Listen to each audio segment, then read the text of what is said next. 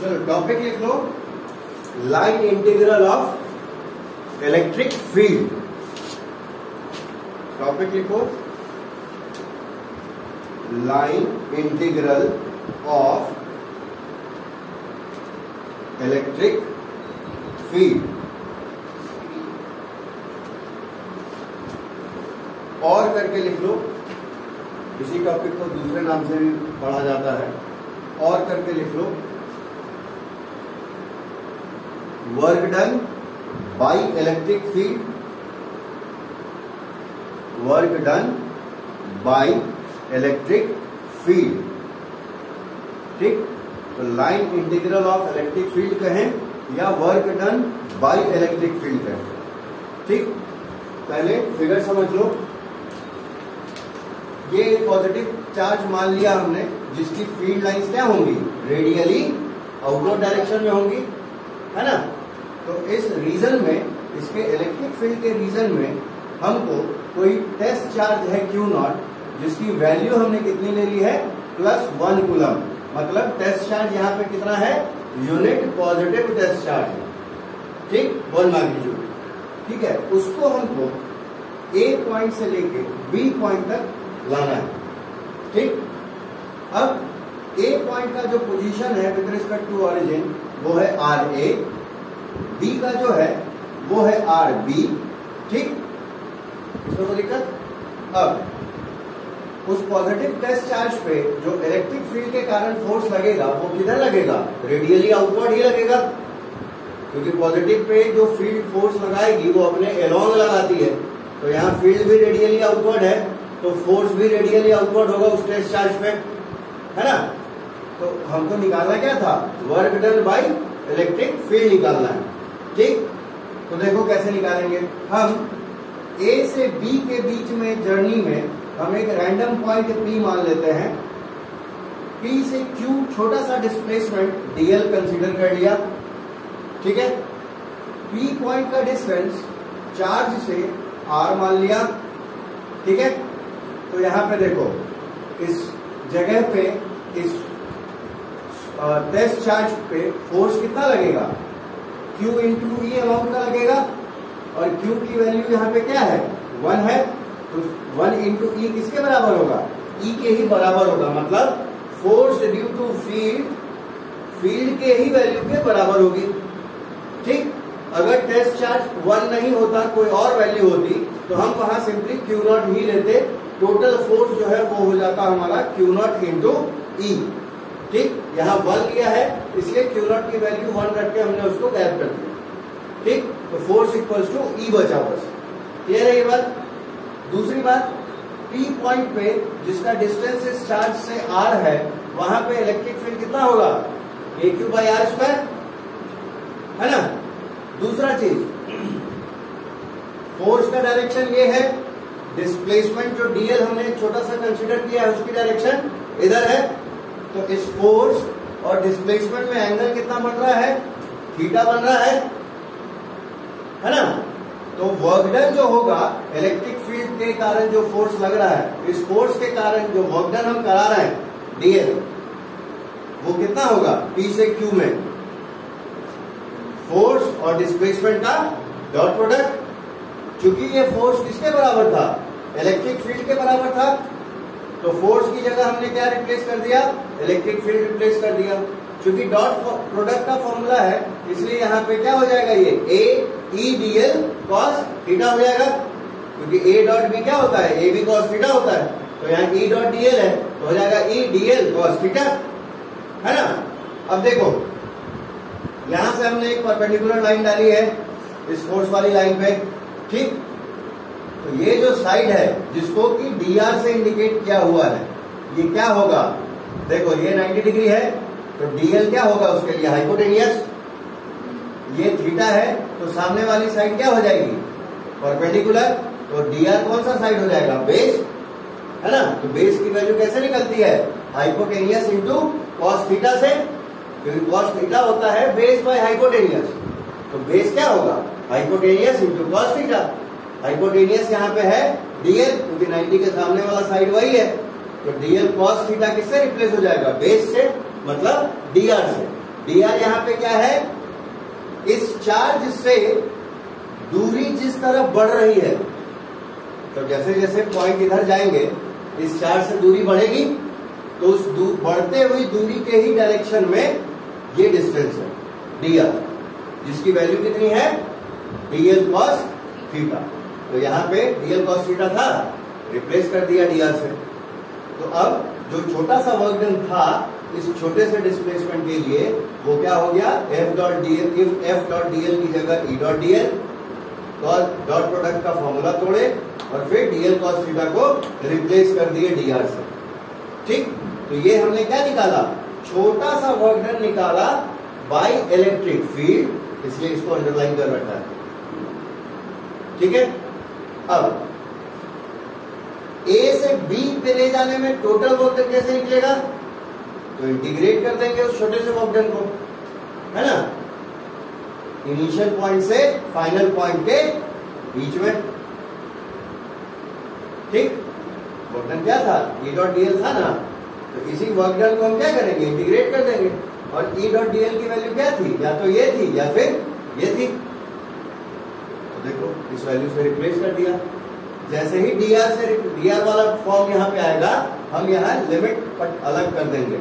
R A R B मतलब ए point का position क्या था? R A final point B का पोजीशन क्या था? आर बी तो इनिशियल पोजीशन से फाइनल पोजीशन के बीच में हम इंटीग्रेट करेंगे। किसको? इस छोटे से वर्कडन ताकि हम पूरा वर्कडन ए से बी के दौरान निकाल सकें। ठीक? इसमें कोई दिक्कत? अब देखो आगे। तो अब सिंपल मैथ्स है इलेक्ट्रिक फ़ील्ड की वैल्यू डालेंगे K Q by R square ठीक है? के क्यू बाहर आ जाएगा, फिर वन बाई आर स्क्वायर का जब इंटीग्रेशन करेंगे एंड देन लिमिट पुट करेंगे तो हमको ये वैल्यू आ जाएगी। इंटीग्रेशन का फॉर्मूला यूज़ करेंगे integration of X to the power N D X वाला। X to the power N plus one by N plus one वाला। ठीक है? तो ये चूँकि वन बाई आर स्क्वायर है, इसलिए वो आर इनवर्स टू में कन्वर्ट हो जाएगा। तो माइनस टू पावर है। ठीक है? उसको फिर फर्दर सॉल्व करोगे तो ये आंसर मिलेगा। ठीक? कितना? के क्यू और अंडर ब्रैकेट में one by initial position minus one by final position ये क्या है? ये लाइन इंटीग्रल है। किसका? इलेक्ट्रिक फ़ील्ड का। या फिर ये work done by electric field है। कब जब टेस्ट चार्ज को ए से बी पे ले जाए, या पोजीशन ए से आर बी पे चेंज हो तब ठीक है? तो ये वैल्यू किसकी मिली हमको? या तो लाइन इंटीग्रल की कहेंगे, क्योंकि इलेक्ट्रिक फ़ील्ड को ही हम लाइन के, इस लाइन के एलॉन्ग इंटीग्रेट कर रहे हैं। ठीक? या फिर ये क्या है? वॉर्डन बाई इलेक्ट्रिक फ़ील्ड है। ठीक? यहाँ तक कोई दिक्कत? तो इस पूरे कैलकुलेशन में देखो, इस फाइनल फॉर्मूले में कहीं भी पाथ का ज़िक्र है कि कैसे पाथ चले गए हैं? सिर्फ़ इनिशियल पोजीशन और फाइनल पोजीशन है। है ना? ये सोर्स चार्ज है और के कांस्टेंट पाथ के बारे में तो कुछ नहीं कहा गया है। इसीलिए हम कहते हैं कि जो लाइन इंटीग्रल है इलेक्ट्रिक फ़ील्ड का, ये जो वैल्यू मिली हमको, इससे या इससे। ठीक है? जो लाइन इंटीग्रल है इलेक्ट्रिक फ़ील्ड का, या वर्कडन बाय इलेक्ट्रिक फ़ील्ड है? दोनों तो एक ही चीज़ है। वो इंडिपेंडेंट ऑफ़ पाथ होती है। इसको पाथ से कोई मतलब नहीं है। पितर पितर कैसे भी जाए, कोई फ़र्क नहीं पड़ता। फ़र्क पड़ता है सिर्फ़ कि इनिशियल पॉइंट और फाइनल पॉइंट का पोजीशन क्या था यहाँ से। ठीक बात? तो वो चीज़ वहाँ वर्ड्स में लिख दिया। अब अगर बी से वापस किसी भी रास्ते से होते हुए ए तक आते तो अगेन पाथ से इंडिपेंडेंट होता लाइन इंटीग्रल या work done by electric field और उसकी वैल्यू अब क्या होती? क्योंकि अब बी से ए आ रहे हैं तो फाइनल क्या हो जाएगा? आर ए इनिशियल क्या हो जाएगा? आर बी तो यहाँ पे ये चीज़ें बस इंटरचेंज हो जाएँगी। R B minus R A हो जाएगा। तो जब बी से ए पे आएँगे तो यही वर्क डन या लाइन इंटीग्रल इतना हो जाएगा। ठीक? तो देखो, ये दोनों वैल्यूज़ चाहे ए से बी पे जाने की हो या बी से वापस ए पे आने की हो। एक दूसरे की उल्टी है अपोजिट है। यहाँ ए माइनस बी है, वहाँ बी माइनस ए है। है ना? जो यहाँ पॉजिटिव है, वो वहाँ निगेटिव है। जो यहाँ निगेटिव है, वो वहाँ पॉजिटिव है। तो जब दोनों को जोड़ेंगे मतलब जब पूरे क्लोज पाथ के लिए हम दोनों वर्कडन को जोड़ेंगे या दोनों लाइन इंटीग्रल को जोड़ेंगे तो नेट वैल्यू क्या मिलेगी? ज़ीरो। ठीक? क्लियर है बात? तो चूँकि इलेक्ट्रोस्टैटिक फोर्स के कारण जो वर्कडन होता है, वो क्लोज पाथ में टोटल ज़ीरो होता है। मीन्स एक जगह से दूसरी जगह पे गया, दूसरे से वापस पहली पे आ गया।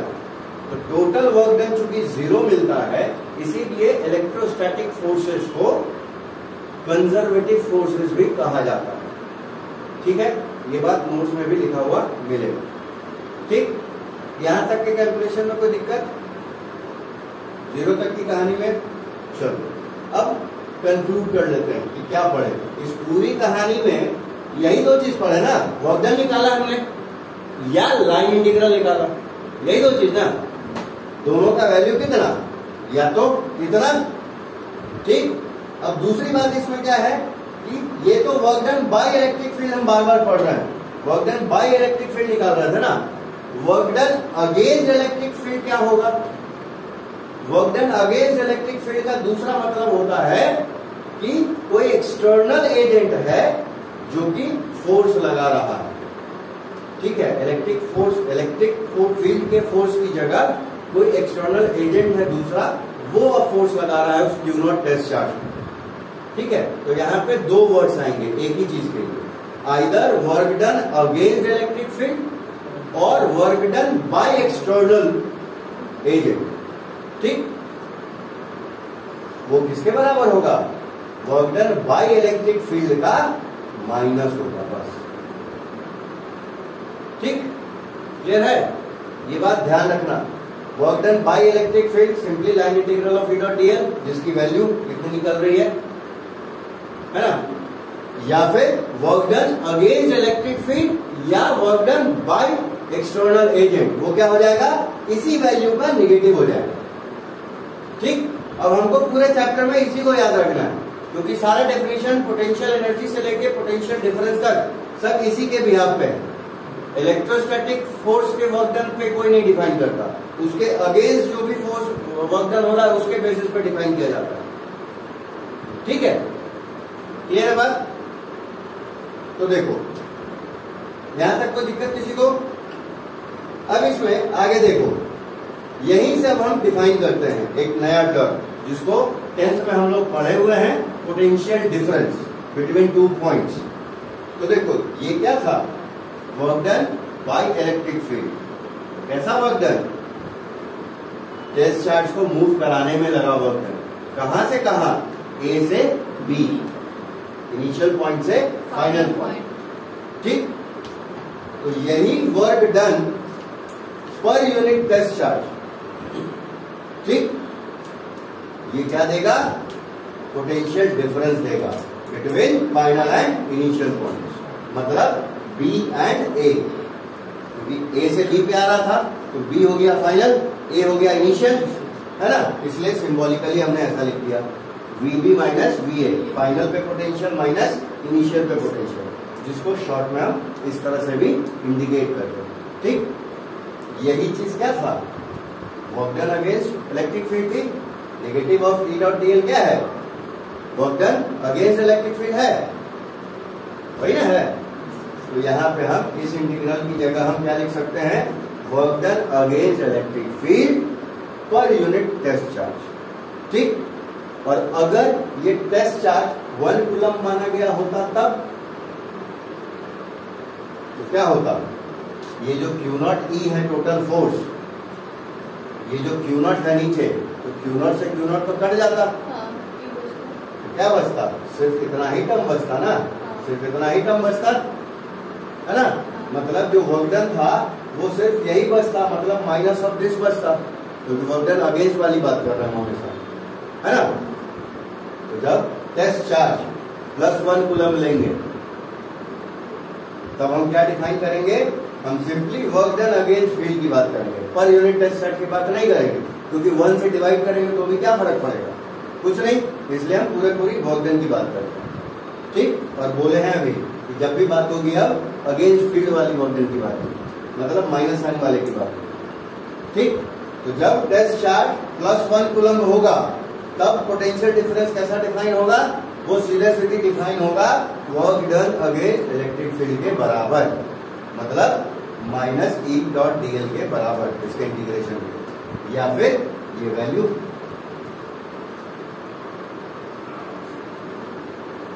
ठीक है? या इसी पे तो माइनस साइन लगा के देखो, क्या हो जाएगा? आर बी पहले आ जाएगा आर ए बाद में आ जाएगा। तो एक्सप्रेशन वही आना है ठीक है? क्लियर है? तो ये टेस्ट चार्ज के बेसिस पे दो तरीके से डिफाइन हुआ। ये सिमिलर है कुछ वैसा जैसा फ़ील्ड डिफाइन किया था। फ़ील्ड क्या डिफाइन किए थे? फोर्स पर यूनिट चार्ज है ना? तो यहाँ पोटेंशियल डिफरेंस क्या डिफाइन हुआ? Total work done against field पर यूनिट चार्ज तो वहाँ फोर्स बाय चार्ज था, यहाँ वर्क डन बाय चार्ज ठीक है? वहाँ भी जब टेस्ट चार्ज वन ले लिया था तो फोर्स बराबर फ़ील्ड हो गया। है ना? यहाँ भी जब टेस्ट चार्ज वन ले लिया तो पोटेंशियल डिफरेंस किसके बराबर हो गया? सीधा सीधी वर्क डन के बराबर हो गया। ठीक? तो ये तुमको लिंक जोड़ना होगा आसानी से याद करने के लिए कि एक टॉपिक में भी इसी टाइप से चीज़ें थी, यहाँ भी उसी टाइप से चीज़ें हैं। ठीक है? वहाँ भी आइदर फोर्स पर यूनिट चार्ज या force on unit positive charge यहाँ भी वर्क डन पर यूनिट चार्ज या work done in moving unit positive charge ठीक है? क्लियर है ये चीज़? क्लियर है? अब देखो, यही सब उठाते हैं। कुछ नया नहीं है। इसी को अब हम घुमा घुमा के पढ़ते हैं। ठीक है? क्योंकि अलग अलग बुक्स होती हैं। एग्ज़ाम में अलग अलग उसको भी पैटर्न पे क्वेश्चन पूछ सकता है। ठीक है हो सकता है तुमने ए भी पढ़ा हो एग्ज़ाम में पी क्यू दे दिया हो। और जहाँ हमने पी क्यू दिया है उसको उसने आर एस लिया हो कुछ भी हो सकता है। ठीक है? तो देखो अब हम इनिशियल पॉइंट इंफिनिटी ले लेते हैं और फाइनल पॉइंट कोई पी मान लेते हैं। ठीक? ठीक है? एक बार खड़े हो जाओ। कारण समझ में आ जाएगा। खड़े हो जाओ जल्दी। हाँ है ना? तो बैठ जाओ। ठीक है? ठीक। तो अब क्या करते हैं हम लोग? इनिशियल पॉइंट को इंफिनिटी ले लेते हैं। फाइनल पॉइंट को पी पॉइंट को मान लिया। मतलब ए की जगह हो गया इंफिनिटी बी की जगह हो गया पी पॉइंट ठीक? आर ए जो पोजीशन था ए का तो यहाँ इन्फेनाइट का पोजीशन क्या हो जाएगा? Infinite R is equal to infinity और पी पॉइंट का पोजीशन मतलब आर बी वो हमने सिर्फ़ आर मान लिया। ठीक है? मतलब आर ए का वैल्यू कितना? इन्फिनिटी और आर बी का मतलब कितना? सिर्फ़ आर ठीक? तो इस केस में ये दोनों बात मतलब जब test charge other than one हो, या टेस्ट चार्ज वन कुलम हो, क्या चेंज होगा, क्या अपडेट होगा, वो देख लो। यहाँ पे क्या हो जाएगा? ये बी क्या था? फाइनल पॉइंट था? ए इनिशियल पॉइंट था? है ना? तो वहाँ पे इनिशियल क्या है? इन्फिनिटी तो यहाँ पे वी इंफिनिटी हो जाएगा। यहाँ वहाँ फाइनल पॉइंट क्या है? पी तो ये वी पी हो जाएगा। मतलब V P minus V infinity मतलब वी पी इंफिनिटी है ना? ऐसा ही कुछ होगा। तो देखो वहाँ जब test charge other than one coulomb हो तो क्या होगा? ये तो वही चीज़ डिफाइन होगी। बस इनिशियल और फाइनल पॉइंट बदल जाएँगे। इनिशियल पॉइंट ए की जगह, देखो इनिशियल पॉइंट कहा गया?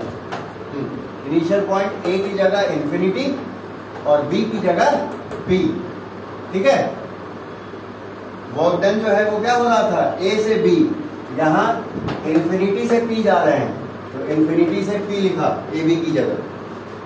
ठीक? सिर्फ़ सिंबल्स बदल जाएँगे। ये है और उसी तरह यहाँ पे work done against electric field तो कहाँ से कहाँ ले जा रहे थे? इन्फिनिटी से पी यहाँ कहाँ से कहाँ ले जा रहे थे? ए से बी इंफिनिटी से बी इंफिनिटी से पी ठीक है? याद रखने में आसानी के लिए ध्यान रखना कि ये फाइनल माइनस इनिशियल हमेशा होगा। ठीक है? हमेशा फाइनल का पोटेंशियल माइनस इनिशियल का पोटेंशियल करेंगे। दूसरी बात कंबाइंड फॉर्म में शॉर्ट फॉर्म में हम इसको इस तरह से लिखेंगे। तो हमेशा पहले वाले में से दूसरे को घटाएँगे। तो यहाँ बी बी ए है तो क्या करेंगे? पहले में से दूसरे को घटाना ठीक है? तो यहाँ पे तो इन्फिनिटी और पी था। Final minus initial VP minus V infinity ठीक? अब यहाँ एक और चीज़ ध्यान रखना टेंथ में भी पढ़ाया गया था कि इन्फिनिटी पे पोटेंशियल ज़ीरो माना जाता है। ठीक? तो Vp minus V zero VP minus V infinity क्या मॉडिफाई होगा? Vp माइनस ज़ीरो में ज़ीरो घटाएँगे तो क्या फ़र्क पड़ना है? सिर्फ़ Vp बचेगा? है ना होगा। तो सिर्फ़ Vp बच गया, है ना? Vp को हम सिंपली क्या पढ़ेंगे? पोटेंशियल एट पॉइंट P किसके रिस्पेक्ट में? इन्फिनिटी के रिस्पेक्ट ठीक है? और ये सिंपल वाला कि जब यूनिट पॉजिटिव टेस्ट चार्ज ले ले हम तब, वो चीज़। ठीक है? डेफिनेशन सब वही है। बस इनिशियल पॉइंट की जगह इनफाइनाइट और फाइनल पॉइंट की जगह क्या? पी ठीक? आर ए की जगह इंफिनिटी आर बी की जगह आर ठीक है? तो देखो, इसको आगे मॉडिफाई करो। इंफिनिटी से पी का लाइन इंटीग्रल उसका नेगेटिव क्योंकि पोटेंशियल का फॉर्मूला भी वही था इस केस में। ऑब्जन अगेंस्ट इलेक्ट्रिक फ़ील्ड है ना? तो देखो ई डॉट डी की वैल्यू क्या आई थी पहले? वहाँ देखो A cube into one by R A minus one by R B है ना? तो वन बाई आर ए जो है वो क्या है? कहा गया? निगेटिव था ना ये? तो निगेटिव उस, उसका क्या होगा? पलट जाएगा वो। वन बाई आर ए है वन बाई आर बी इधर है। बी माइनस ए हो जाएगा है ना? तो फाइनल पॉइंट जो है उसका पोजीशन क्या था? आर था।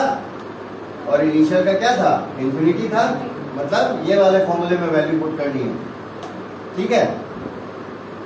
तो वन बाई आर तो वन बाई आर ही रह जाएगा। वन बाई इन्फिनिटी क्या हो जाएगा? ज़ीरो हो जाएगा। तो one by R minus zero one by R है ना? तो सिंपली फॉर्मूला क्या मिला हमको पोटेंशियल एट पॉइंट पी का? के क्यू बाई आर ठीक है? यहाँ क्यू क्या है? ये वाला चार्ज जिसके कारण पोटेंशियल निकालना है। आर क्या है? उस पॉइंट का डिस्टेंस हो गया इस चार्ज से। और के तो nine into ten point nine वाला वैल्यू ठीक है? इसमें कोई दिक्कत? तो ये है क्या? वो लिख दिया कि potential due to positive charge at point P at distance R from plus T ठीक है? तब यहाँ ध्यान देना कि पॉजिटिव चार्ज है तो चार्ज की वैल्यू पॉजिटिव लेंगे वोल्टेज भी हमको पॉजिटिव मिलेगा। चार्ज की वैल्यू अगर निगेटिव है तो यहाँ चार्ज की वैल्यू निगेटिव ही लेंगे। ठीक है? तो वोल्टेज भी कैसा मिलेगा? निगेटिव मिलेगा। ये ध्यान रखना इस पूरे चैप्टर में। चार्ज की पोलैरिटी भी हम न्यूमेरिकल में इस्तेमाल करते हैं। ठीक है? और अब ये सारी कहानी जो है, वो सिंबल्स का खेला मत समझ। क्या बोले हैं? कि हमेशा फाइनल माइनस इनिशियल करना है। हमेशा फाइनल माइनस इनिशियल करना है। ठीक है? हमेशा फाइनल माइनस इनिशियल ठीक? इतना दिमाग में एकदम ठूस लो।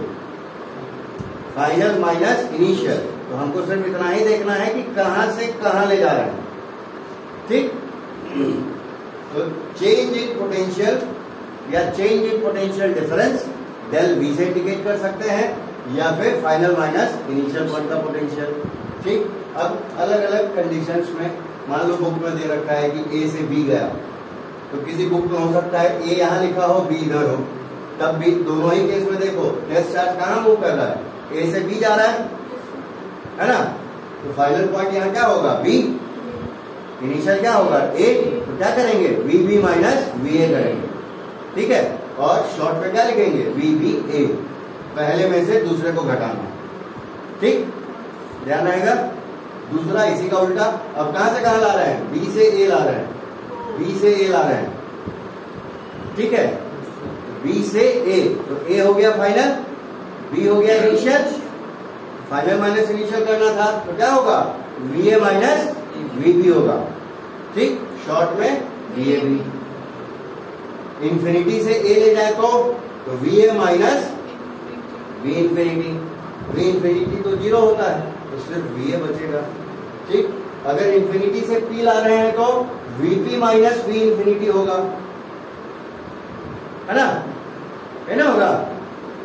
सर एक सेकेंड वो इन्फिनिटी वाला एक बार फिर से इनिशियल फाइनल तो final minus initial V A minus V infinity initial final final minus infinity VP minus V infinity और वी इंफिनिटी ज़ीरो होता है तो वो डिसअपियर हो जाएगा। यहाँ सिर्फ़ ए बचेगा। यहाँ सिर्फ़ वीपी बचेगा। ठीक? तो अब यहाँ लास्ट दो बातें जो हमको ध्यान में बिठानी है। पहला, अगर सिंबॉलिकली तुमको वी वी ए दिया है दैट मीन्स वो है potential difference between B and A means V B minus V A अगर तुमको वी ए बी लिखा है तो वो है potential difference between A and B मतलब V A minus V B ठीक? लेकिन अगर इसके जैसे कहानी है सिंबल्स हैं जैसे V A V P V B V Q तो इसका मतलब है कि ये है potential at point A with respect to और इन्फिनिटी ठीक? या potential difference between A and infinity ठीक है? सिर्फ़ वीपी लिखा है, उसका मतलब है potential at point P with respect to infinity या potential difference between P and infinity है वो डिफरेंस ही। लेकिन चूँकि वी इंफिनिटी ज़ीरो होता है रेफरेंस हमने इंफिनिटी मान रखा है, इसलिए वो गायब हो जाता है। तो वो अंडरस्टूड रहता है। कि अगर सिर्फ़ वी ए लिखा है मतलब वो potential with respect to infinity दिया हुआ है। ठीक है? क्लियर है? क्लियर है? तो सिर्फ़ वी ए का मतलब एक्चुअल में क्या है? वी ए इंफिनिटी है। मतलब V A minus V infinity सिर्फ़ वीपी का मतलब वी बी का मतलब क्या है? वी बी इंफिनिटी है।